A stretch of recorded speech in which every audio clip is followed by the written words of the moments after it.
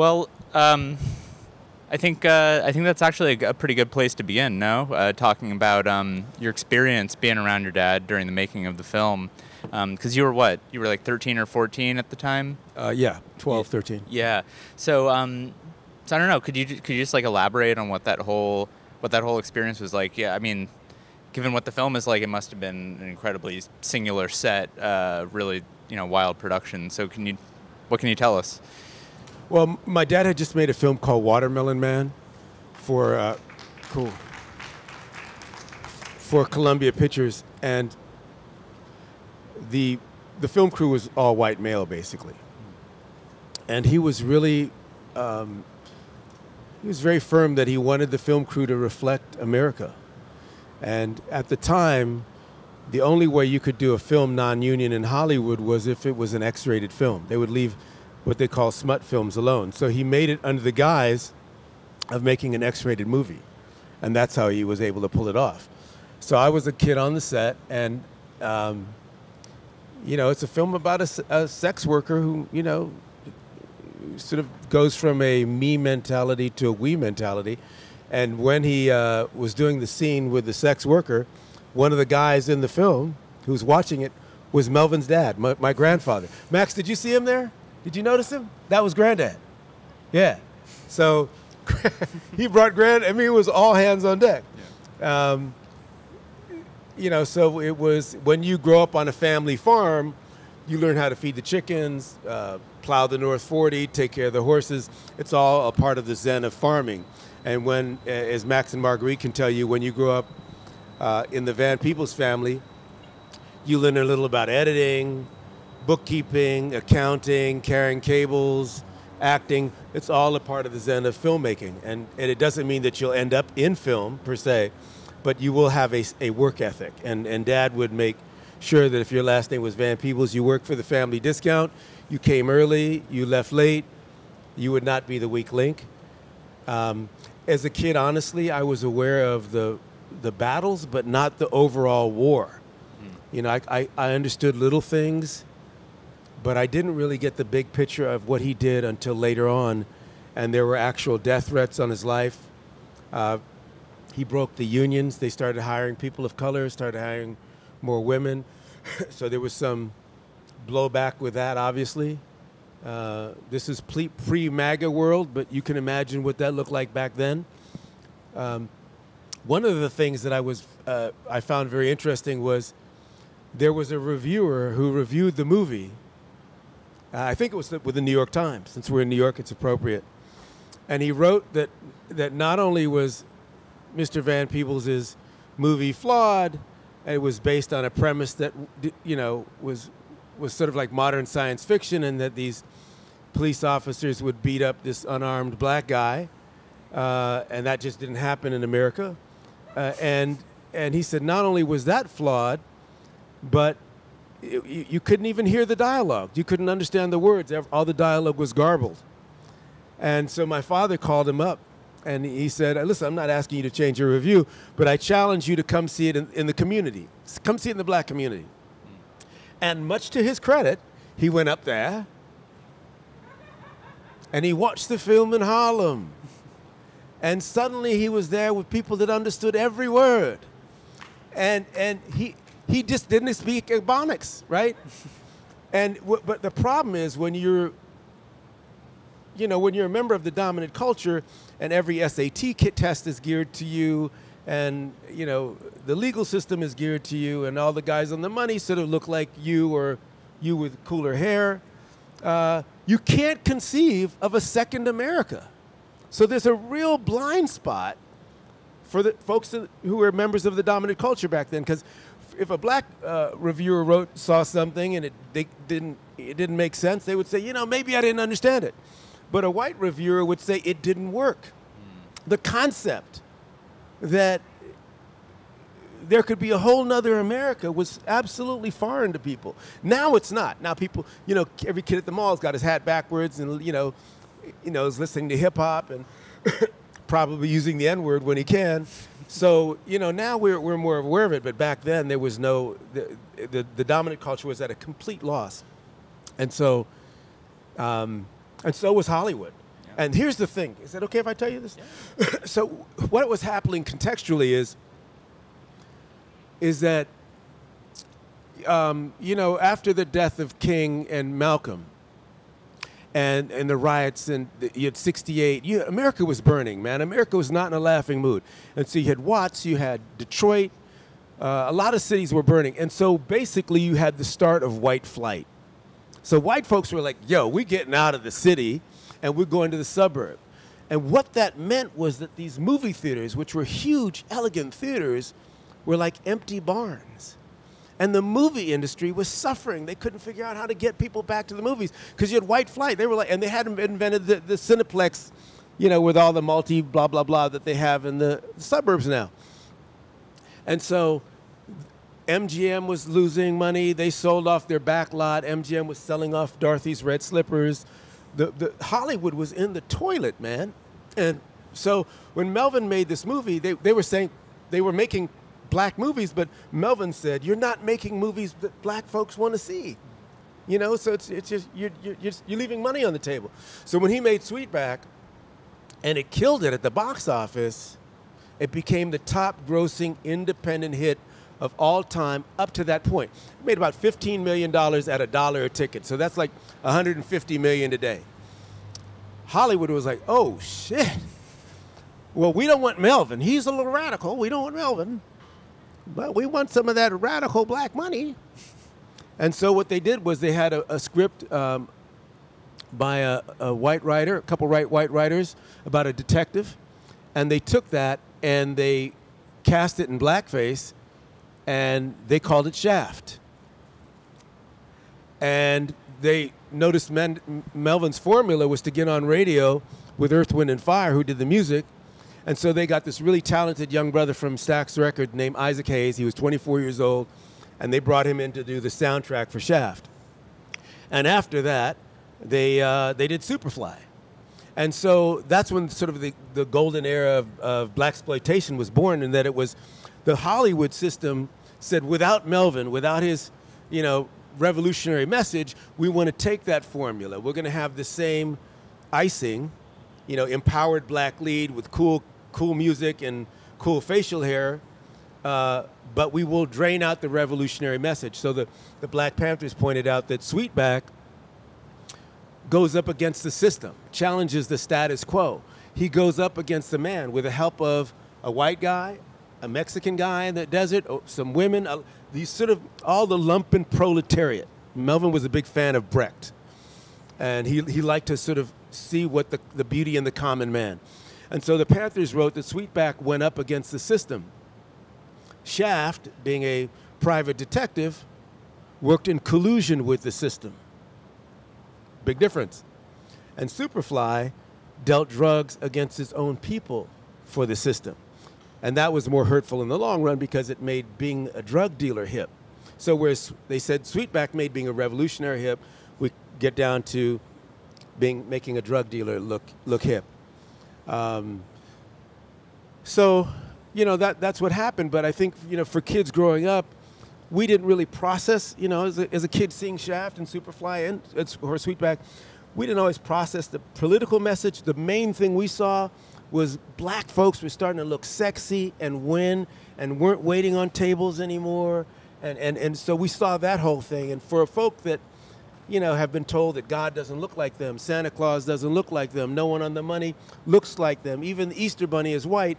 Seeing imagery that shows you winning and kicking some ass versus being the Motisa class is a tonic. That's a long ass answer to. That's my blue book answer. no, it's a perfect answer. Like, Shut up. no, man, they don't want to hear from me. Uh, um, yeah, but uh, but I also so I also want to like. Um, I want to talk a little bit about about uh, looking at the film now in 2021 and you know um, obviously this restoration is going to occasion a lot of people to look at sweet sweetback's badass song now and think about it in terms of today. And i'm just i'm just curious in the course of your like uh, helping out with the restoration, your approval of it, and like, um, and in looking at the film now, just kind of like what sorts of uh, reflections or impressions you're sort of getting about maybe kind of like where Sweet Sweetback's badass song kind of fits into fits into everything today. Because I think it, you know, I think there's a lot there, but it, maybe it's kind of complicated. Yeah, it's it's it's a trip, man. Um, it's still a real hard hitting film. I mean, you, you got the opening frame with, with, with me playing the kid. I'd like another shot at that role now. Uh, you know, you get the opening shot with the kid, kid, young Sweetback losing his virginity. Then you go right to the whole sex worker thing, you know, and it's a male sex worker, which is interesting, you know. So uh, it's some Van Peebles sexploitation shit, I guess. You know, if you're going to exploit somebody, exploit yourself, right? Um, uh, and then you get into the whole thing with this sort of, you know, with the with the kid that gets beat up by the cops. You know, so it's again, it, I'm I'm I'm I'm there's a French saying, uh, "Le plus ça change, le plus ça reste la même." The more things change, the more they stay the same. And I say, you know, as someone else said, that history doesn't always directly repeat itself, but it does rhyme. And it's interesting that we're now way more aware of the George Floyds of it and the Rodney Kings of it. But back then, this is, my dad said, before the video, there was the movie. Before the video of Rodney King, there was the movie of this. And if you lived in white America, you really, this would be like modern science fiction. You'd be like, what the hell is this about? You know, but, but when we saw it, I remember my dad talked about a screening of Sweetback when he went to see it. I was up in Harlem, and there was a little black lady uh, who had come from church and somehow ended up, and I don't know how this chick came from church with one of them little hats with a flower in it, you know, the blue hair, and she was there watching the film. And when Sweetback's running through the desert, she said, "Oh Lord, let him die, let him die, let him." And he, and my, my, my dad was like, "Why? Why she want him to die?" And it because in those days, if you stood up against the man or the lynch mob or anything, you had to die the, the, you would not live. And so the concept that the brother would stand up against the system, get away, and, and leave that remark on the screen was unfathomable. And so it was just a mind blower in, in so many ways. And, it, and I'm still, you know, knowing dad like we do, we just know dad does the shit. he does some crazy shit. And he does the stuff he wants to say. And he, he really is an unstoppable cat. I mean, even today, I was watching the film, sitting out there going, you know, it's it's a rough ass movie. It really is. Um, I think what what what they caught with the restoration is it's still gritty. Mm-hmm. It still looks the way he wanted it to look. It doesn't look, you know, it doesn't look glossy and and and homogenized at all. It's still got all the '70s grit that he wanted. Um, you know, dad's dad's a real he's a badass cat. He's a character, and he made the movie he wanted to make. Um, and then, you know, I said, Dad, I, and after that, by the way, he didn't get job offers after that, which is really interesting. Because typically, if you make a hit movie, you get offers. But I said, I said, Dad, how come you didn't get any offers after that? He goes, Son, if you go into a pool hall and you pretend that you can't play pool, and all the big guys bet against you, and you take their money and then you whoop ass and you play pool, you can't play the same game in the same pool hall ever again. and that's why he came to Broadway and came to New York was that Hollywood was Hollywood was dead. And they were like we don't want that. We want it. We'll, we'll go with the, the, the icing on the cake but we're not going to have that revolutionary message. And you know it's a weird thing because it's sort of similar with rap right? My dad does ain't supposed to die a natural death which is sort of you know brecht meets spoken word you know and uh, and sort of is credited with sort of being also the godfather of rap by Gil Scott Heron and the Last Poets, you know, and the Last Poets who start to rap about the revolution will not be televised. So initially, rap had a, a, a, a, a potency to it, right? It had something to say. But as when they, even Kurtis Blow, you know, these are the breaks, you know, when he's saying, you know, on white lines and some of the stuff folks were rapping about conditions, even NWA, you'd rather see me in a pen than me and Lorenzo rolling in a benzo, right? But what happens is when big money gets in it, and the corporation or the corpses, as Amiri Baraka refers to them, get into it, they kill the revolutionary message. So eventually, rap becomes just nursery rhymes to a great beat about I got I'm Gucci man or I'm wearing more gold than you, and it becomes absolutely counter-revolutionary. And so the rappers sort of inherit the bravado of the Black Panthers and the bravado of Malcolm without the political ideology. Deliberately so, because now you're feeding it to the masses and you've, you've inadvertently, mistakenly substituted freedom for money. Right? Malcolm says freedom by any means necessary. And later on, someone's saying get paid by any means necessary. And so, as Paul Robeson says, when you buy into the zeitgeist and the paradigm, the virtues, the values of a people who would buy and sell you as a people, what have you become? And so what happens is where Sweetback escapes the, across the desert and doesn't look fly. He's got on some rough ass boots and he's all dirty and he's he's almost said fuck you to materialism and left that whole gold look back with that. The other movies continued it. And so what it subtextually, I think, does is it, it perpetuates capitalism. Sweetback questions capitalism and questions the status quo. It says, hey, let's take a look at all this. Let's look at, look at all this, as the Panthers did. But the other movies become sort of, to some degree, commercials, and it's sort of like, well, the only thing wrong with capitalism, the only answer to capitalism is we need black capitalism. There's nothing inherently wrong with money. We just need more money in black hands, which is a, which, which is a thought, but but it, it, it doesn't ever question the system. And, and my, my thing is, I think that I believe, and this is me, not my dad, I believe that it's actually one of the last conversations I had with my dad before he passed was I think there's a direct connection between racism is right around the corner from sexism, sexism is right around the corner from classism, lookism, and then the wholesale destruction of Mother Nature. What I mean by that? If you're willing to exploit over race and repress over race, you're probably going to uh, repress your woman over gender and then over class, and eventually you exploit Mother Nature herself. And so if you buy into that capitalistic bullying mentality with no consciousness to it, you, it leads to a genocide, and we're all in it. Dr. King says we all learn to live together as brothers and sisters, or we perish together as fools. And I add to that now we learn to live together as brothers and sisters in harmony with nature or perish together as fools. So I thought that when I talked to Dad about it, I said, Sweetback was that first shot across the bow saying, no, stop, question the system.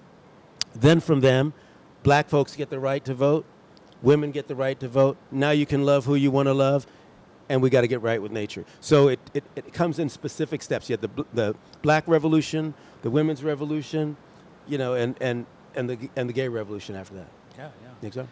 Um, so I, I, think we, d- we definitely want to hear from the audience. So if you have uh, if you have questions, uh, please uh, get ready to come up to the microphone. I'll ask one more maybe, and then we'll we'll, we'll throw it over to them.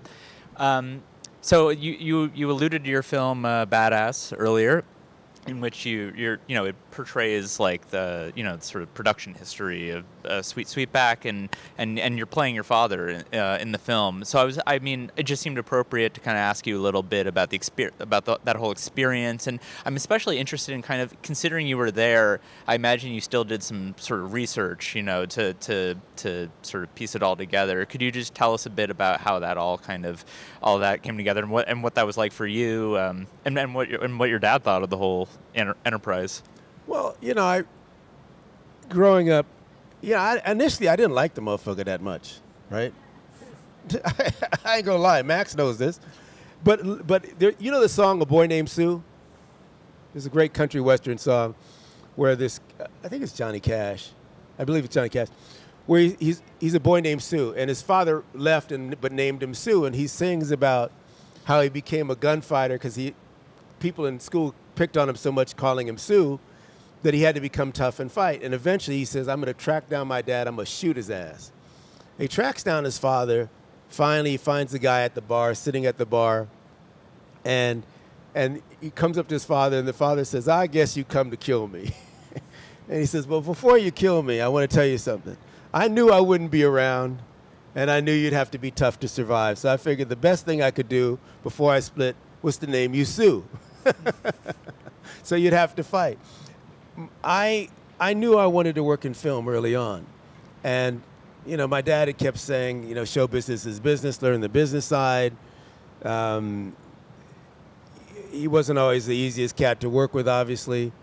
Uh, he would say, you know, you can't win a war with white gloves on. But every time I followed him, every time I tried to do it myself, I realized how much he had taught me. And there's a great quote by Mark Twain where he says, All my life, my father was an idiot. At 21, he was a genius. And so I, the more I followed him down the path and, and, and, to that, I, the more I realized, wow, to do what he did back then, man, and it, it and it was it related directly to me. I mean, I, I don't know if you folks know, but I made my first. My dad made his movie Sweetback in 1971. Twenty years later, there were kids that, like Spike Lee and Julie Dash and John Singleton and Mario Van Peebles, that saw those movies, the movies he did and that Ossie did and Gordon did, and we said, yeah, we want to do that. And I was one of those kids. And because they did that, because Melvin kicked the door in, I was able to make New Jack City. So I thank you. So I made New Jack inside the system thanks to Melvin. I, I, when he made Sweetback, I don't think he ever thought that the kid with the afro was going to be, you know, doing doing something similar later, and let alone a couple years after that playing him in a movie. So I go to see my dad. Let me tell you this story. I go to see Pop. He's got the cigar. He doesn't really light him. He sort of chews them. I go to see him because he's got a book on the making of Sweetback.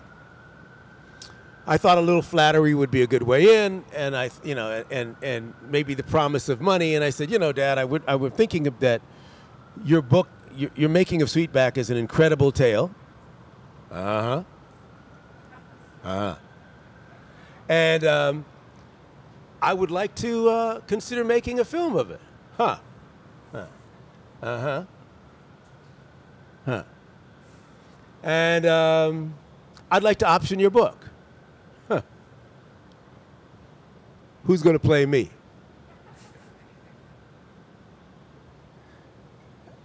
I, I started listing some people, and he came down. He said, um, "You do it. You play me." But I have one note. Don't make me too fucking nice. That was his only note, and he sold me the, the rights to the book for a dollar. Of course, there was an option. It was sunset clause because it's dad. So it means if I don't make the movie within a year, he gets the rights back. but that's dad. And um, he never came to the set. He had no comments until the, you know, I have one shot of him at the end. Um, and uh, I think I followed his note. And it was really interesting for me as a kid to, for me as an adult, to play his side of the chessboard against what would have been my side back in the day. And I had I hired someone else to play me, and it was uh, psychotherapy on celluloid, brother. It really was to relive that stuff. Um, and you know, we kind of did the way he made Sweetback in uh, I think 18 days. I made my film in about 18 days. He wrote it, directed it, produced it, acted in it. I did the same with it. But I didn't have to go non union. Mm-hmm. No one was shooting at me. no one arrested my crew like they did. Yeah. All these things because Melvin Van Peebles had gone first. Yeah. And when I did Sweetback, part of it was was that I was like, there's a tendency we look at Hollywood and go, okay, these things are getting whitewashed and they're telling the story differently, and we know you know, karate is a martial art invented by the Asians, but Hollywood's not going to let the Karate Kid be Asian.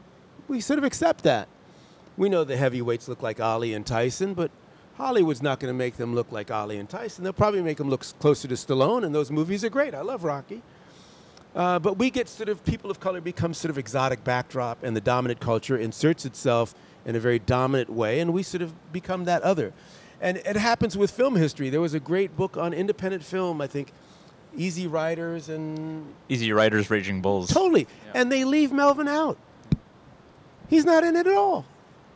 I mean, the top grossing independent in the hit of that time, and he's left out of the history as told by a white guy. And no disrespect to Ryan Seacrest, love me some Ryan Seacrest, but he got a star in Hollywood Boulevard, and Melvin doesn't. It's, it's a mind blower. You go, wait a minute, this is Hollywood Boulevard. Who changed Hollywood? you know, Melvin did. And yet, you know, it's like, you know, so you kind of see that and you go, wow. And I, and then I, you know, so it was, but you know, it doesn't surprise me. There, there's a great bit where Malcolm X says, "I love Dr. King, I respect Dr. King, but I don't understand Dr. King because he's speaking nonviolence to an enemy that doesn't speak nonviolence. And they said, Well, what do you mean by that, uh, Mr. Malcolm X? He said, Well, case in point. He said, Look, if we're playing football, right, we're playing against the opposite team, and the opposite team wants to give our quarterback the MVP award, we got to wonder what the hell is going on. So if you're waiting for the dominant culture to reward you or give you a gold statue or whatever it is, you got to say, wait, wait, wait a minute. Why is the opposite team giving us that? And so it doesn't surprise me. Yeah.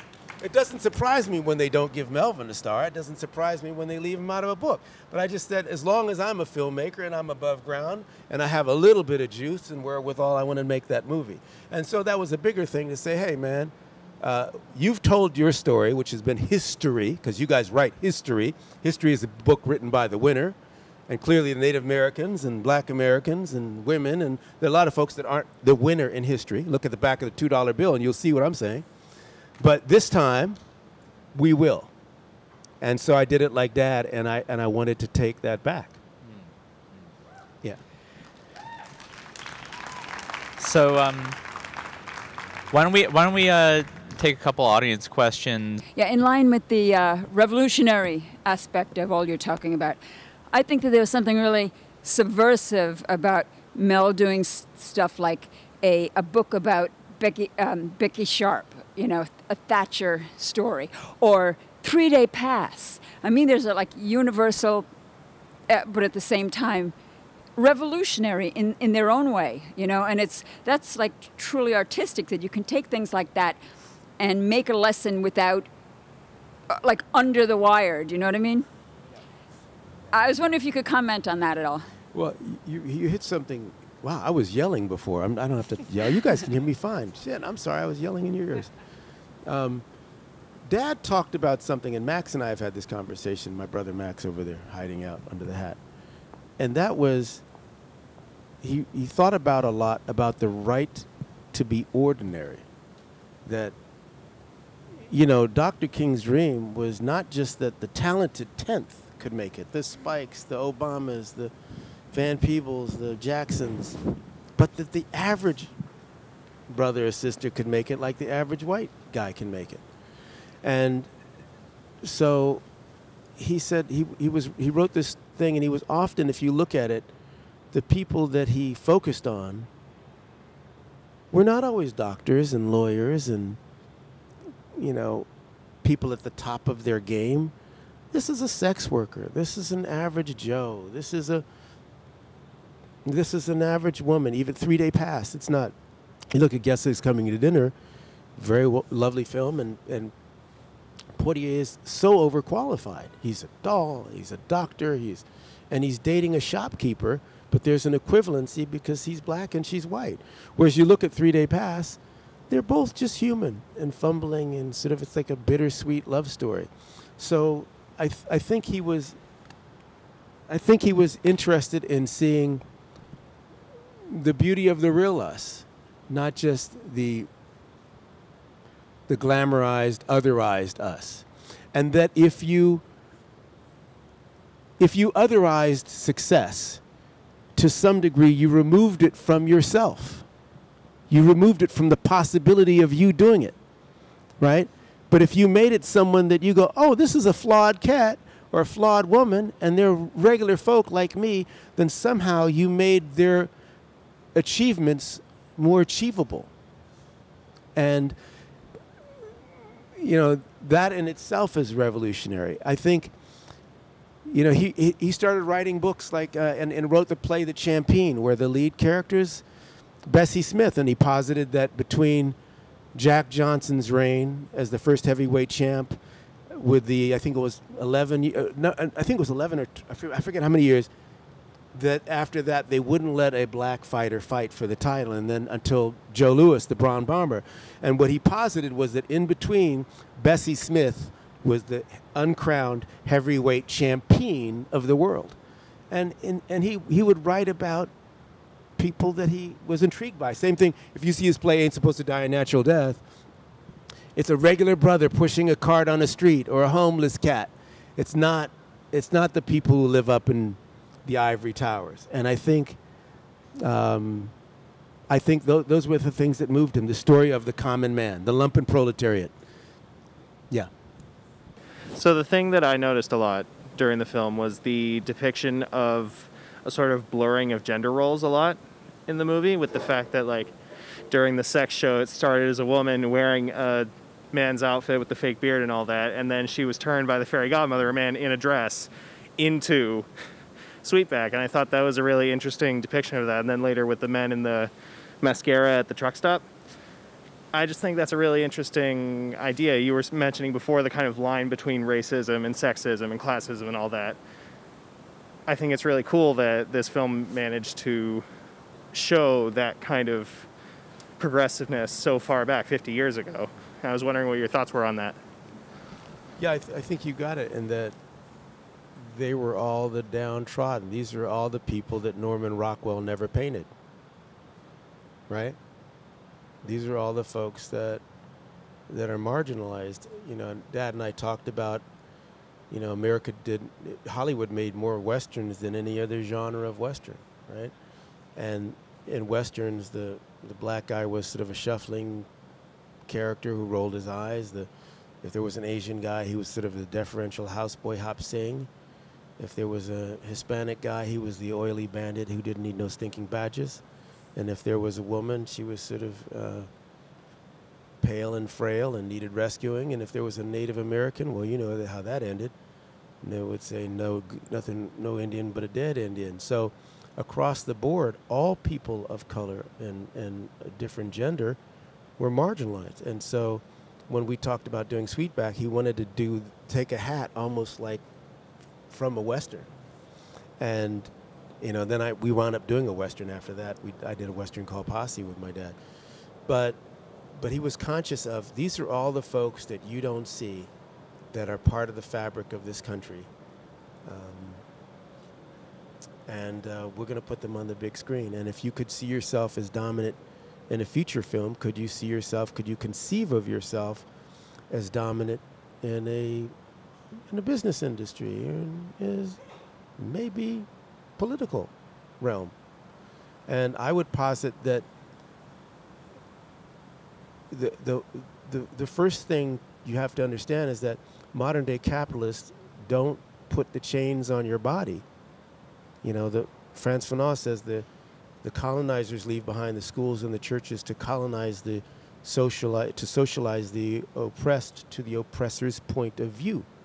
And if you add to that movies and television, you've been sold, we've been sold commercials of what beauty looks like and what, what aesthetics to ascribe to and what rules to ascribe to for so long that's it's hard for us to really separate ourselves out anymore and not know, hey, was that a commercial that was sold to me or is that really me? And the first step to breaking that is claiming your own imagery. And, and so this was a first step to breaking it. And that's a really astute, no one's ever asked me that question before. Thank you. And this will be our last question right here. So. Oh, I'm gonna make a long ass answer. Then Yeah. you're gonna. Yeah, settle in. Hi. Um, this is my first time seeing the movie. Um, I told my brother, and he was like, "Yo, I never saw that. So let me let me let me know how it is after." Um, when you mentioned the church lady that went to see the movie, I was thinking of my grandparents who are church ladies as well. And I can't see them seeing the movie, so I'm curious what what the feedback was from the church community or just the black community in general who may have just been like shocked by the subject. right. That's a great question. Well, so first of all, you know, I can take this off now. Um, first of all, like any other community, we're mo- we're not monolithic, right? So there's no one person that can really say I'm speaking for black people. But man, it was the whole spectrum. you know, it was the whole spectrum. Um, some folks were outraged. Some folks, you know, like the Panthers, loved it. Um, you know, and Melvin said, "Well, I'm doing my job." You know what I mean? I've, I'm I'm doing my job. And again, when he was in France, one of the things that he'd said, I mean, you, again, you had Rome was burning, man, and people were playing golf. You know, like I said, we were killing the Kennedys. We did all, you know, Detroit's burning, Chicago's burning, and as he put it, America was not in a laughing mood, and yet artistically and musically, we were still ooh ah ooh ah. Why don't bird, you know, doing that kind of stuff. So he's like, I'm not seeing any of this reflected in our music. You know I mean? I mean, the closest thing was really Bob Dylan. Do you know what I mean? Uh, Who was saying some of it, and so there were not there were going to still be folks who thought no let's try to be colored. Malcolm was saying you can't pray your way to freedom. F that you know. You, you, it's not going to work. They've been kicking your ass for 400 years. They're just getting better at it. So the, the black community was man it was it was divided as to how to react to it. Um, you know, they were coming after uh, Bobby Seale and Huey. My dad had buttons that, that, you know, that he put on his Brer album cover said "Free Huey." They were killing Fred Hampton. They were wiping the Black Panthers out. By the way, I don't know if you know, my father and I did the movie on the Black Panthers uh, called Panther, and it's it's almost impossible to get. But if you can find it, it is really worth seeing. Uh, he wrote it, and uh, I directed it, and we both produced it together. So you know, there were there were schools of thought that said no, we should just continue to, you know, hope that they recognize our humanity, and other folks were saying later for that. Um, it was all over the place, as it should be. We should not be monolithic, right? So uh, it, it was. I mean, you saw every. In fact, what, one of the things that uh, the Criterion Collection does is you'll see some of the early reviews of Sweetback, you know, where there were some black folks who hated it, and black folks who loved it, and black so why didn't the guy in the toilet wash his hands before? You know, I mean, there's a lot of. Obviously, there were some hygienic issues my brother had. I was like, oh my God, you know, I happen to be a hygiene freak, so I was like, oh man, don't, even, don't come anywhere near me with them hands. Um, so it was not seeing us as we were typically used to wanting to see ourselves, you know, which was sort of playing the piano nicely, where Humphrey Bogart and you know, you know, Bacall did something, would play the piano and look glossy. It, it was not that, um, and it was. And the other thing was, it was starring the black community. So there's so many things that happened. he couldn't use SAG actors. He was gonna. He wasn't gonna play the role himself, and so he said, "Shit, I got to play the role." He went through the script and took out all the lines. So Sweetback doesn't say any lines. You know, he couldn't use union union get folks, so he made it under the guise, like I said earlier, of doing a porn movie. So, um, in every way, all, the community was was was fractured, but we start, we're starting to have a real discussion with ourselves. And then, you know, Hollywood imitated the, flo- the formula, like I said. And the good thing about them imitating the formula was that they at least were now making us win. At least Pam Grier kicked some ass. Oh, let me tell you one quick story on that. This is really deep. so, flash forward, I don't know, 30 years, and I'm doing, I'm doing a show. I think they had the Hudlins on. They had Fred Williamson on, and my dad, and we are talking about 70s movies. And there was a white director from like Sweden or something, right? Young white director. And he, you know, I thought, what's this guy doing? He knew everything about black film. I was like, okay, okay, okay, you got me, you got me. He was a complete cinephile. And we're talking, and, and the Hudlins are smart. Warrington's, you know, my genius brother, and Fred had stuff to say, and Melvin, and we were going. It was really dope. The conver- we, you couldn't have kicked us out. We just kept having this conversation. At lunch, we're all sitting down, and the, the guy, the dude from Sweden, sits down with us, and I could tell he had something to say. And he sits down and he proclaims, because Obama had just won, he proclaims, I knew there'd be a black president. And we were like, shut up. Get the fuck out of here. Get the fuck out. Because none of us knew, because we were all talking about it. And we said, he said, I knew there'd be a black president. I said, okay. I said, he said, I'll tell you what. And he focused on me. He said, I'm going to take you to lunch anywhere you want. If I don't convince you that I knew there had been a black president, then I'll pay for lunch. You be the judge. But if I do convince you, you pay for it. I said, oh, we going somewhere expensive then because it's a tall order. So we go to this restaurant and we sit down. The dude comes in, we sit down. He goes, all right, I was over in Sweden as a kid. And I, my first intro to movies where I saw a Pam Grier flick. I think it was Foxy, Foxy Brown or something. And I fell in love. I thought that afro was a halo. And then I started looking at other films. I looked at Shaft. I looked at Superfly. I looked at your dad's films. I looked at every film I could find. I said, I've got to go to America. I found Tamara Dobson. I've got to go to America and meet a sister like that. He came to America, brother had jungle, jungle fever, never dated a white woman, only dated the sisters, right? He said, Man, I came here. I said, I've got to meet some sisters like that. Good Lord. So when he stayed with his family here in America, he said, I went into their room. These are my little blonde nephews and nieces. And they were sleeping under the posters of their heroes. And their heroes were on the wall, on the ceiling, were Michael Jordan, Michael Jackson, Prince. Their favorite show was The Cosby Show. I'm not talking about the, the man, I'm talking about the phenomenon. And he said, seeing those kids sleep under the pictures of their heroes, I knew there would be a generation of white kids too who could conceive of a black hero. And a black hero could be in the White House. And those kids in Iowa who grew up years after my dad did his movie would be able to never meet a black person and go, oh, I can conceive of the Huxtables in the White House and make them the Obamas. And he, he laid it all out. I said, okay, I'm buying lunch. but the, the importance of imagery cannot be understated. They say this is not brain science. It is not. But it wires us to be, want to be the success we see. And I think that um, it, it, it, it's, so, it, it's so important that we see more folks of color, more women, and I think especially now Native Americans. I haven't seen enough films by them. And they're the original folks here, man. So, yeah.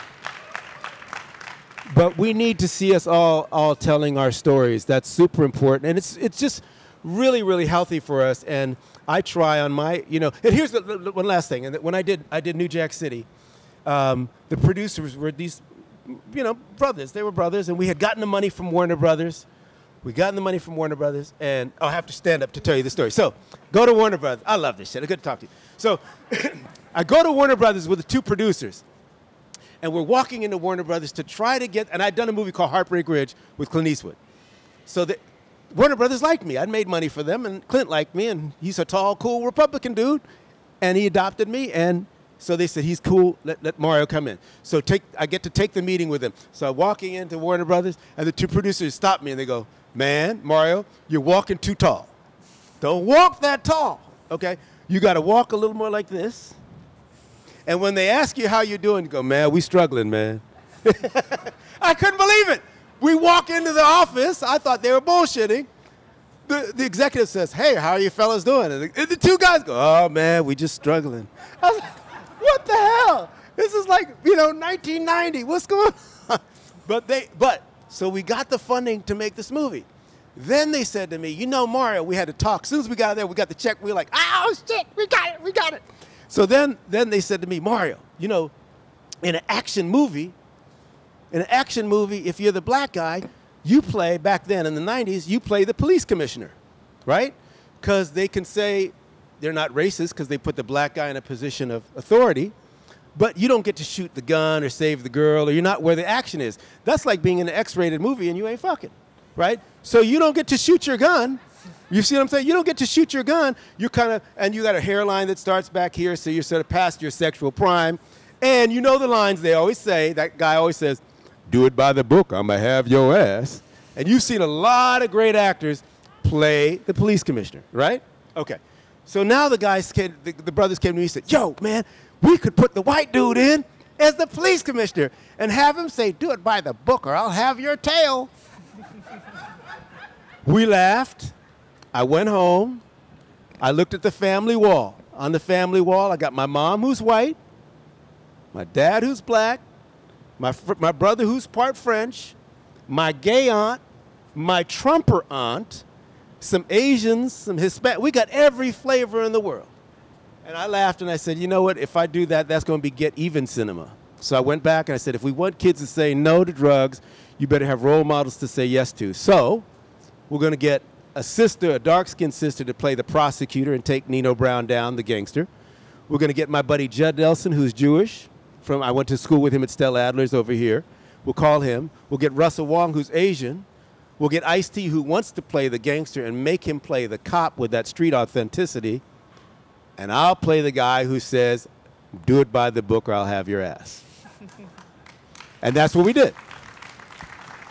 And what I, what I wanted to sh- what I wanted to say was that you could make film and make a hit without marginalizing anybody.